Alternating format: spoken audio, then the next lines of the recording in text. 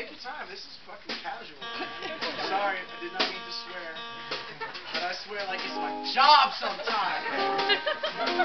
Why do you apologize for it? I've already got four parental advisory letters? Makes me look so much tougher than I actually am. Yeah. Dude, you got parental advisory? I'm like, yeah, but it's for like crying the word buckets.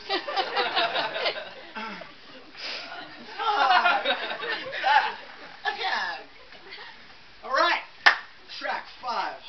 Down the laughter.